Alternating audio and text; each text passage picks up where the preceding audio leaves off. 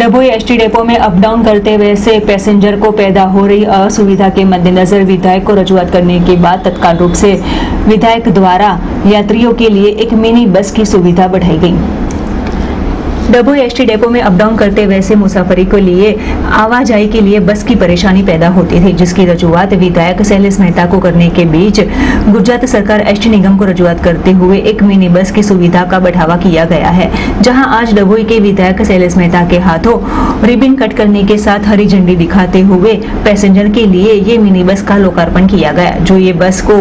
अब घुमाने के साथ डभोई एसटी डेपो में यात्रियों को अप डाउन करने के साथ पैदा होती परेशानी दूर होते हुए कहीं ना कहीं खुशहाली का माहौल छाया है।